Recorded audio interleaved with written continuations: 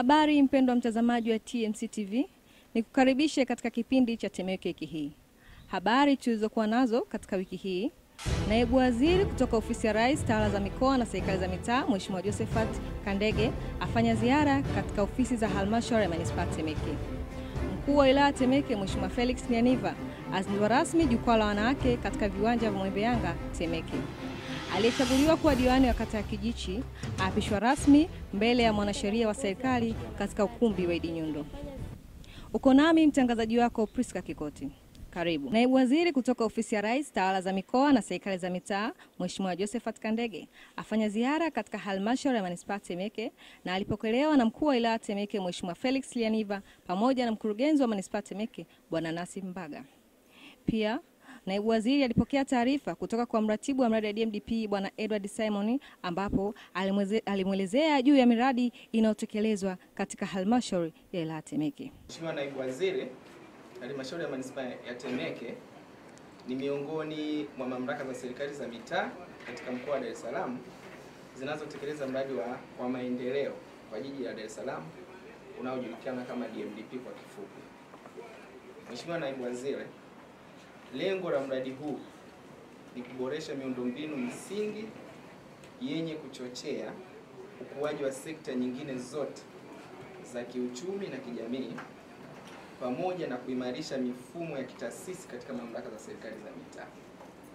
Kwa leo nimeamua nitembelee halmashauri ya manispaa ya Temeke na kama ambavyo wameshuhudia kuna ujenzi ambao unaendelea kwa maana ya ujenzi wa ofisi, lakini pia kuna ujenzi wa barabara ambazo kimsingi tunatarajia kupata manufaa makubwa kwa kuhakikisha kwamba barabara zetu zinapitika za kiwango kizuri, na katika taarifa ambayo wamenipatia kuna miradi mingi ambayo inaenda kutekelezwa, na hii ni kutokana na ufadhili wa World Bank.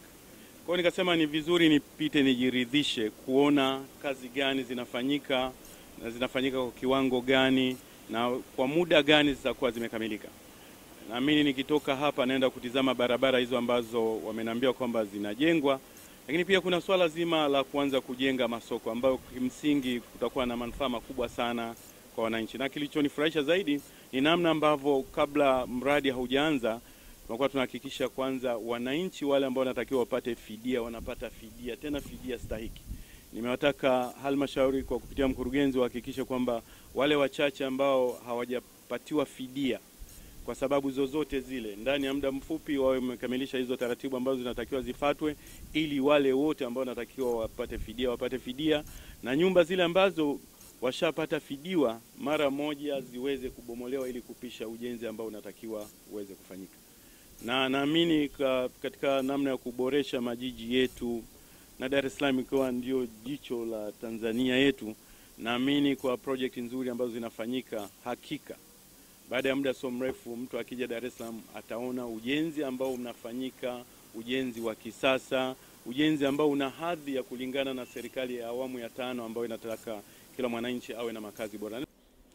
Mkuu wa wilaya Temeke Mheshimiwa Felix Lianiva azindua rasmi jukwaa la wanawake katika wilaya Temeke lilofanyika katika viwanja vya Mwembe Yanga, ambapo katika jukwaa hilo mkuu wa wilaya aliwasihi wanawake kuwa na umoja na upendo ili waweze kufikia malengo endelevu, angalau kufikia asilimia hamsini kwa hamsini.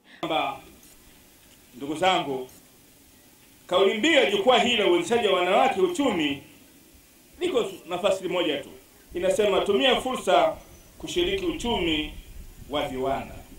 Tumia fursa kutumia kushiriki uchumi wa viwanda. Fursa hizi ndizo ambazo leo tunaiona hapa. Tunataka kuondokana na ile kwamba mwanamke lazima awezeshwe. Hapana, mwanamke mke fursa, anaweza akaogelea na anaweza akafika mahala ambapo na yeye akaajiri na akawa na kampuni ambazo leo tumeshuhudia kwa ndugu zetu hapa. Ndugu zangu, katika kusaidia kufika malengo ya maendeleo endelevu ambayo pia yamesisitiza uwezeshaji wa wanawake uchumi, katibu mkuu wetu wa Umoja wa Mataifa, kama mnakumbuka, aliteua timu ya viongozi wataalamu ambao wanafanya kazi kama chombo cha juu katika kutambua, kuweka mkakati na kupunguza, kuondoa pengo kubwa ambalo limejengeka duniani na kuongeza ushiriki wa wanawake katika uchumi duniani kote. Ule mfumo dumwe wa kuwa na upande mmoja, tuwataka sasa ile hamsini na hamsini tunayoililia ifike nao kina mama wazalishe uchumi wetu tuwe hamsini hamsini kama vile wanavyoshauriwa na kusisitiza kwamba hata katika nafasi mbalimbali za uongozi wafike huku. Kwa hiyo ni vizuri zaidi na wenyewe wakapewa. Mbali na hapo, mkuu wa wilaya Temeke alimsimika mwenyekiti wa jukwaa la wanawake katika wilaya Temeke, Bi Joali Maulid, ambaye alichaguliwa na wanawake katika jukwaa hilo. Aliyechaguliwa kuwa diwani wa kata ya Kijichi Bwana Eliasa Kasim Mtarawanje aapishwa rasmi katika ukumbi wa Nyundo, ambapo katika zoezi hilo lilihudhuriwa na wanachama wa Chama cha Mapinduzi CCM pamoja na madiwani wa halmashauri ya manispaa ya Temeke. Mimi Eliasa Kasim Mtarawanje natamka kwa dhati kwamba nitatumikia halmashauri ya manispaa ya Temeke kwa wadhifa wangu wa diwani, na kwamba ninahifadhi, nitalinda na kutetea katiba ya Jamhuri ya Muungano wa Tanzania, sheria za Tanzania, maadili ya madiwani na kanuni za kudumu za halmashauri kama zilivyowekwa kwa mujibu wa sheria, na kwamba nitatumikia halmashauri ya manispaa ya Temeke kwa uaminifu na kwa uwezo wa moyo wangu wote. Ee Mwenyezi Mungu nisaidie.